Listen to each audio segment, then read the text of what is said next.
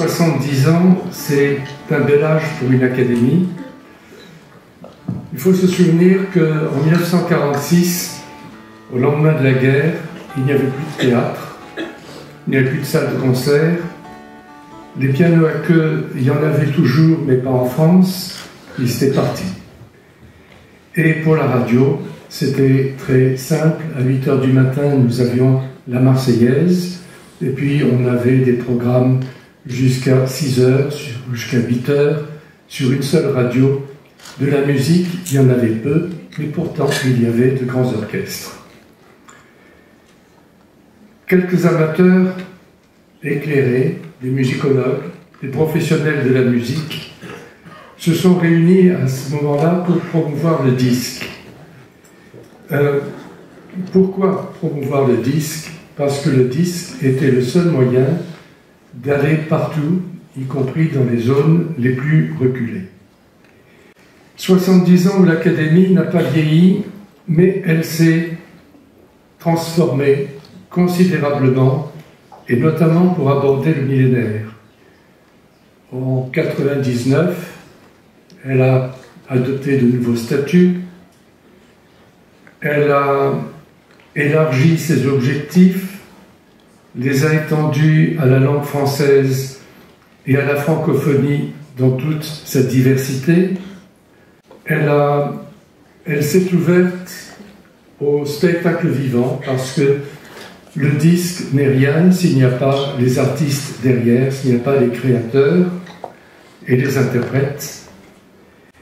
Et elle a surtout pris une décision qui l'a transformée. Nous avons décidé que l'Académie allait travailler toute l'année, se répartir en commissions spécialisées, et ceci a modifié fondamentalement l'esprit de l'Académie. Nous n'étions plus des décorateurs de disques ou d'artistes, j'espère d'artistes, nous étions devenus un acteur culturel, un nouveau acteur culturel. Aujourd'hui, c'est la fête et on y va.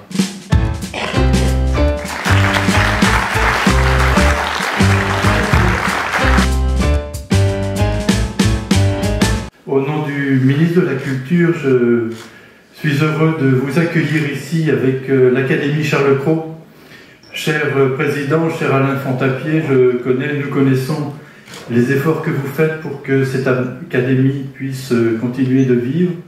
Nous essayons, nous essaierons de vous aider autant que nous pouvons, considérant que vous mêlez euh, trois grandes directions qui sont les nôtres, ministère de la Culture, les arts, évidemment la musique et la chanson, la chanson en langue française, donc la langue française, et puis également la francophonie. Euh, il est vrai que dans nos euh, régions, souvent on a l'impression que les personnes sont un peu ou peu conscientes de l'importance que peut avoir aujourd'hui la francophonie, qui devient une puissance mondiale, évidemment économique, diplomatique, internationale, et euh, la langue française est le lien qui nous unit. Elle unit les citoyens de France, elle unit les euh, collègues et citoyens de la francophonie, et je voulais vous dire vraiment les compliments que nous, que nous vous attribuons, considérant que vous travaillez non pas simplement en région, j'étais à Château-Thierry il y a quelques semaines avec vous, où nous avons remis déjà des prix. Ce soir, nous remettons encore des prix. Je pense que dans les mois qui viennent, nous allons euh, ensemble euh, remettre encore des prix. Et je voulais vous féliciter pour euh, le courage. je pense que c'est un exemple aussi pour nos jeunes élèves des écoles, pour euh, nos étudiants, de voir qu'une association qui est portée par un idéal peut survivre, vous parliez de, de l'après-guerre, peut survivre, peut survivre avec toutes les aléas que réserve une aventure, une association, une société savante, c'est une aventure.